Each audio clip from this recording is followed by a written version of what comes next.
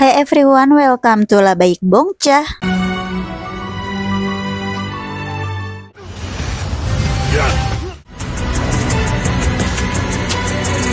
Drama Cina ini baru aja tamat guys, cuman kalau di Mango TV subtitlenya harus ngelus dada. Dramanya tentang beberapa mahasiswa yang mendapat pesan bahwa ada sesuatu di lantai 19 suatu gedung. Rupanya di sana ada sebuah games di mana ketika seseorang gagal menyelesaikan suatu level, mereka langsung mengalami koma di dunia nyata.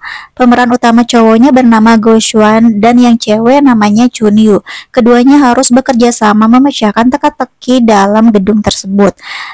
Nah, menjelang ending, keduanya dan beberapa orang lain hampir aja terjebak kematian di games tersebut.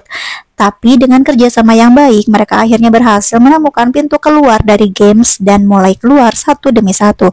Namun ketika giliran Chun Yu, Go Swan, dan ayah Chun Yu melihat Mister Yang masuk ke games, Mister Yang ini semacam orang yang mengendalikan games itu.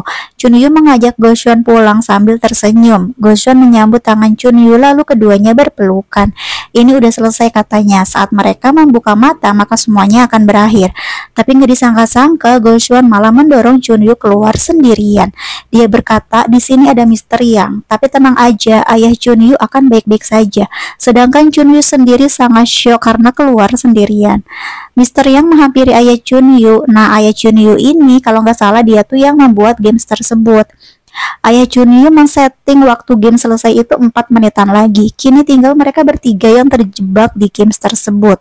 Mister Yang ternyata membawa pisau dan Gosuan segera mendorong Ayah Chunyu keluar menuju cahaya. Sedangkan pisau itu menikam punggungnya Gosuan. Bukan itu aja Mister Yang berhasil menikam perutnya Gosuan beberapa kali. Meski akhirnya Gosuan berusaha sekuat tenaga melawan Mister Yang, tapi karena luka tikamnya cukup parah, tubuh Gosuan sampai dibanting-banting dan ujungnya Mister Yang hampir berhasil menikamnya lagi. Untung aja Goshuan masih bisa bertahan walaupun dia kehilangan banyak darah. Dia hampir bisa membuat Mister Yang tidak berkutik juga. Dan Mister Yang ini mau balas dendam karena putrinya terjebak di games itu. Lalu si putrinya tuh meninggal. Nah sambil menahan rasa sakit, Goshuan bilang Mister Yang ini sebetulnya bukan mau balas dendam dia itu cuma kesel sama dirinya sendiri karena nggak bisa menyelamatkan putrinya. Keduanya pun jadi menumpahkan perasaan masing-masing soal bagaimana rasanya kehilangan orang yang dicintai. Seperti Goshuan yang kehilangan ayahnya juga.